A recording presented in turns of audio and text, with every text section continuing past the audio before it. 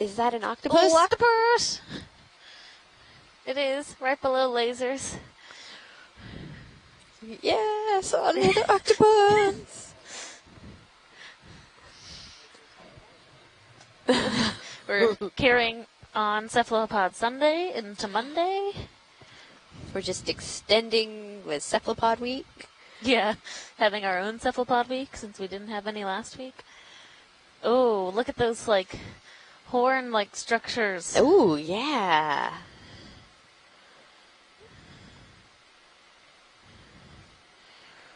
Oh, yeah, he's gonna put his little his arm under his chin there, give us a nice little pose.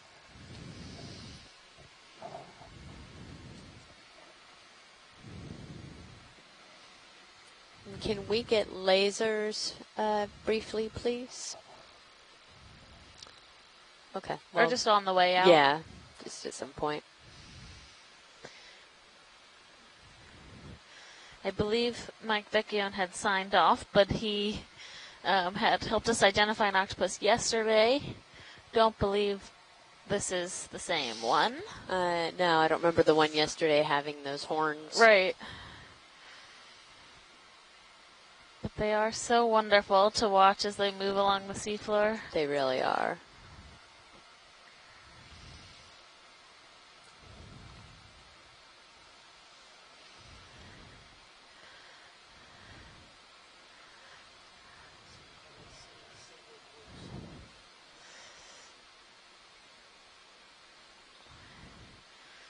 Yeah, it does look a little warty, so maybe it's a similar in the similar family of octopus, but has a much more red peachish color. Mm-hmm.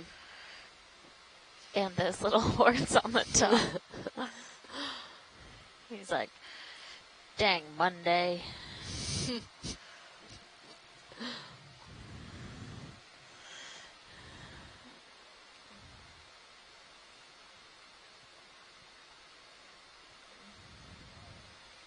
yeah.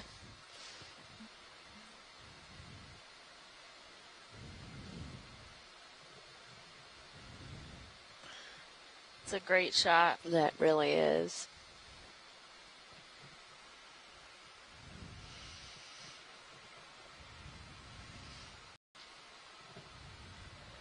So it looks like its suckers are all in one row, straight row. When Mike was talking to us yesterday, um, how you can, yeah, that's part of the identification is whether it has like one or two rows of suckers.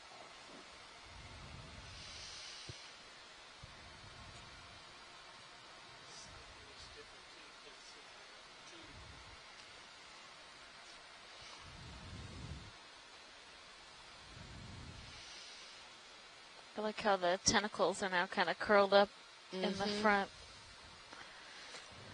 I mean, it definitely l- looks uh, like Hello? it's sleeping. Hello, Kiana. Hi, Mike. Hello. Hey, I, I'm on a train right now. so I might lose you. But I was watching along on my cell phone and saw the octopod. Great. And, uh, I think you're right. I think it may not be the same thing as yesterday, the uh, Tetracheledone. I mean, it, I, yesterday was uh, Graneledone. I, I think this might be a Tetracheledone. Okay. what we need to do is is send it to the, the student at uh, uh, University of Southwest Louisiana who's working on these things because she uh, she's getting better at this than I am identifying these uh, these deep octopods.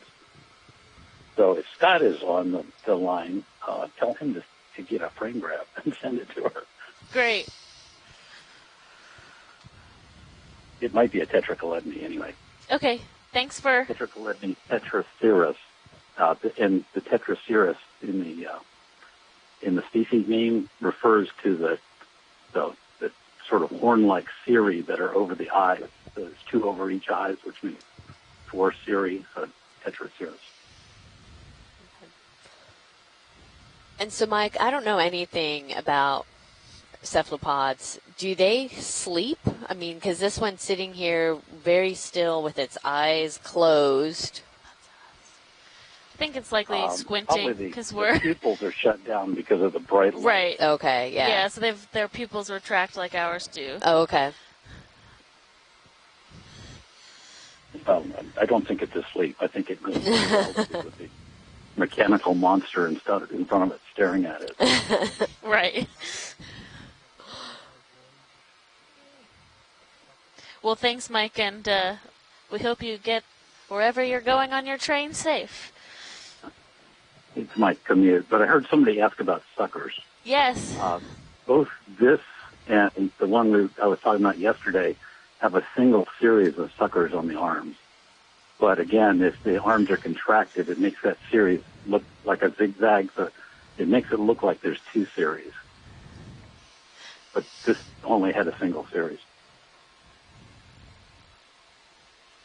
Not sure who was asking that. Oh, yeah, that's, I was just making that observation that it did look like it only had a single row. Right. But both of those genera uh, have that characteristic. Okay. Great, thank you. Okay, I'm going to hang up now. Okay. thanks. All right. Bye. Bye. Bye.